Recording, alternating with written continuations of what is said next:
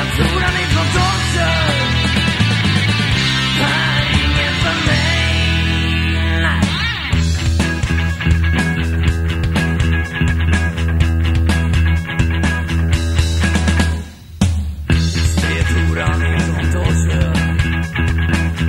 Hon är ful som bara fan.